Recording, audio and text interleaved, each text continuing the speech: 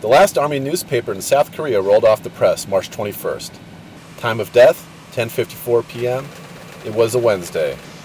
The Morning Calm, a bi-weekly command-approved news outlet, ended its nearly 16-year run after 8th Army Commander Lieutenant General Michael Bills declined to renew its contract earlier this month.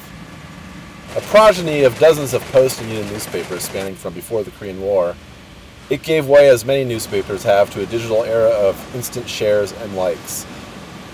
Camp Humphrey officials who said they spent more than 50 hours every publication producing the paper said they will instead now focus more on social media and the mobile phone app.